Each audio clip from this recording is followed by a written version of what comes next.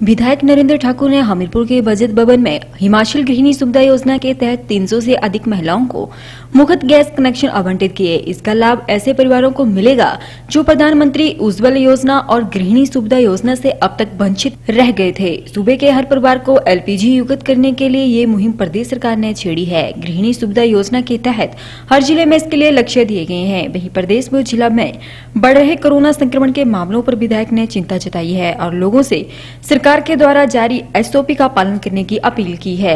विधायक नरेंद्र ठाकुर ने बताया कि हिमाचल गृहिणी योजना घरों में एलपीजी गैस कनेक्शन प्रदान करने की प्रदेश सरकार की एक महत्वाकांक्षी मुहिम है। मई 2018 में लोगों को चूल्हों के बजाय एलपीजी गैस ईंधन वाले स्टोव का उपयोग करने के लिए, प्रोत्साहित करने के लिए इसे लॉन्च किया गया था। ये चूल्हों से होने वाले वायु प्रदूषण से निजात पाने में मदद करता है। उन्होंने बताया कि हिमाचल गृहिणी योजना को उन घरों को कवर करने के लिए शुरू किया गया था, जिन्हें प्रधानमंत्री उज्जवल योजना द्वारा छोड़ा गया था। 2019 के अंत तक राज्य ने योजना के तहत दो लाख से अधिक किट वितरित किए थे।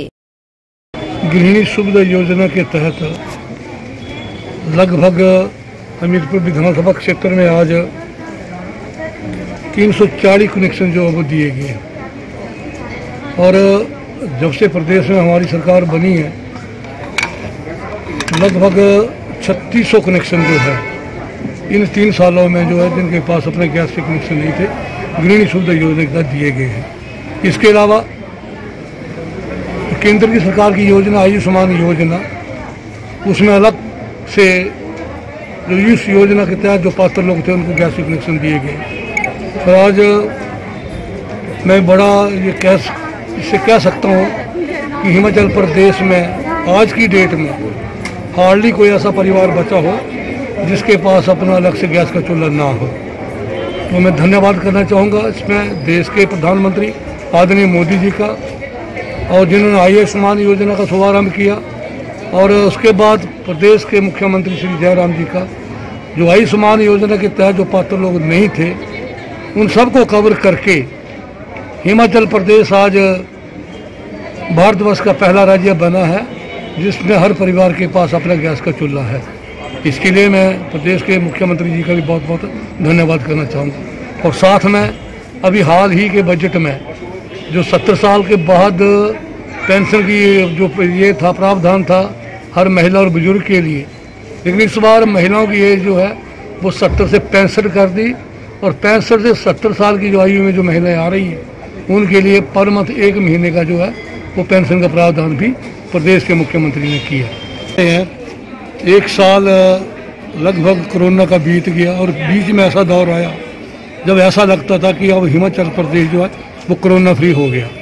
लेकिन अब रिसेंटली अभी एक हफ़्ते से जब हम देख रहे हैं तो जिस प्रकार से पहले शुरुआत हुई थी, कोरोना की वैसे ही शुरू हो गई है। आपको ये भी पता है कि जो गाइडलाइन सरकार ने दी हैं, हम लोग कैजुअल हो गए, सरकार भी कैजुअल रही और इस वजह से दोबारा जो कोरोना जो पनपने लगा है, सरकार ने गाइडलाइन दी है और हम सबका ये कर्तव्य बनता है कि उन गाइडलाइंस के तहत हम अपने आप को मास्क लगा के सैनिटाइज का प्रयोग करके व जो आइसोलेशन है उसका ख्याल रख के ही आगे वाला समय जो है उस ढंग से हमें चलना पड़ेगा।